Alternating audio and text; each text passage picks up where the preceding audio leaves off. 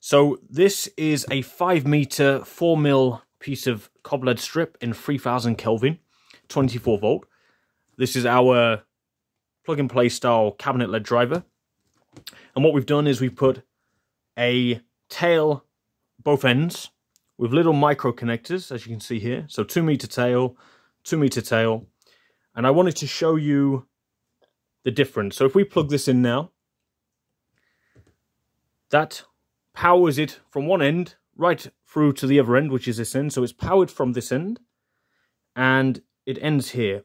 And what's happening is you get a slight bit of voltage drop throughout the strip, which means that this end is slightly dimmer compared to this end here.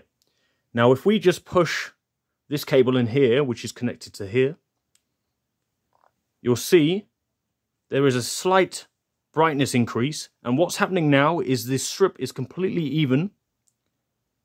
And excuse the camera because it's um, it's going through its uh, zoom in settings. But what's happening is you're seeing a complete even uniformity of light throughout the entire strip.